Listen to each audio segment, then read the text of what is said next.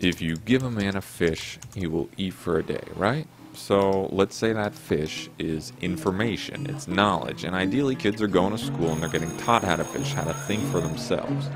But I'm worried with standardized testing, these kids are just taking the fish. And their parents and teachers are pressuring them to take the fish, and if you don't have the fish, then not only are you going to starve, but you won't be able to get into college.